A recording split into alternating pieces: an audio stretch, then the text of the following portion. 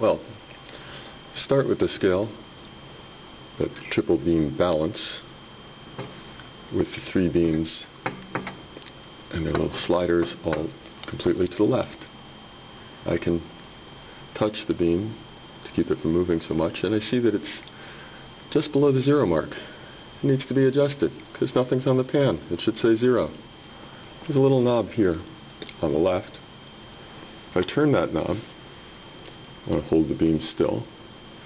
I need to turn it out a little bit to make the beam move up. Aha! Now I've hit zero. This is adjusted correctly to start. I take the object that I want weigh, check the mass of, have my coffee cup here, put it on the pan carefully, and obviously it's heavy. So it makes the pan heavier than the arm. And since this is a balance, the arm goes up. The middle beam of my triple beam balance is marked with numbers 0, 100, 200, 300, 400, 500 G. G is for grams. When I try to slide across, I notice that this clicks in certain places, at the 100, at the 200, at the 300, at the 400, and at the 500. Oh! When I get to the 500, the beam moves down. This side must have more mass than this side. So I know that the mass now is between 400 and 500.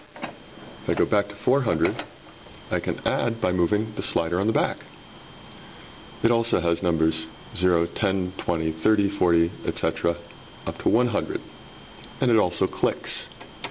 So if I start sliding across 10, 20, still at the top.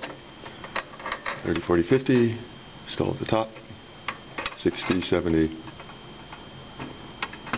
up, click on the 80, still up there. 90, up. And the beam goes down. Wait for it to settle. I can touch it lightly, but I don't want to push on it. It's just a hair above the zero mark. The zero fixed to the device is there. The arm is there. If I went to 100, so that the mass was 400 plus 100, that's too much. I knew that already. So I go back to my 90.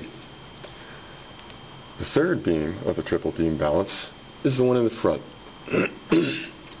Again, stop this from moving. The one in the front has numbers 0, 1, 2, etc. up to 10 grams. This one just slides freely, no clicking. So, so far I know that my mass is 490 and some number of grams. I want to slide this very carefully to the right until the beam just balances at the zero. I may need to go back and forth a bit. I need to go slowly.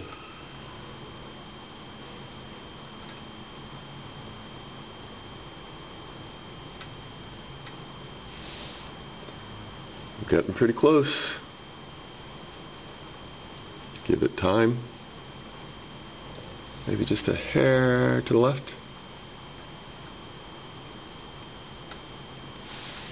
Okay, I think that balances. So now I need to read it. I've got 490, 0, but there's a bunch of little marks between 0 and 1. Those go after the decimal point. 490.2 is what that says. So my mug, with however much coffee is in there now, has a mass of 490.2 grams.